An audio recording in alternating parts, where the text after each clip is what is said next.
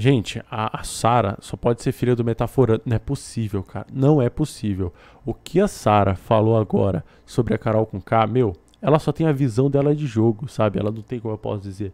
Como a gente vê a casa cheia de câmeras, a gente pode julgar, tem internet para trazer pra gente o que a gente na hora não conseguiu ver e depois a gente vai lá e fala, porra, ela fez isso, é mancado e tal.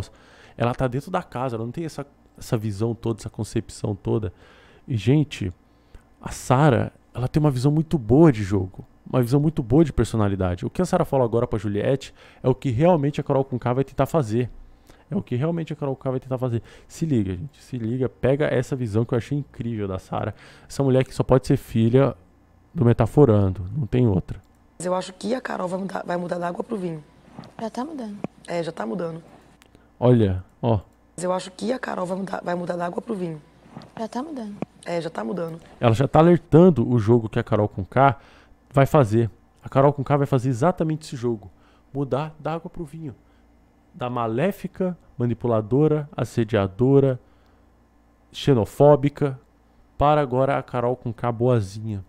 Que vai ajudar, que já falou mal do Nego Di, já foi falsa, né? Ela falou uma coisa e depois disse pra Juliette que foi Nego Di que tinha falado pelas costas. Mas ela vai querer pagar de boazinha no grupo. Meu, a Carol com K realmente parece aqueles vilões de desenho animado. Mano, mano, não é possível, cara. Essa mulher é igualzinho os vilões de desenho animado.